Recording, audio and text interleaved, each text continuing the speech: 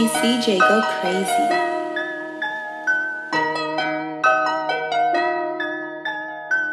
Chamberlain, that's a hundred points.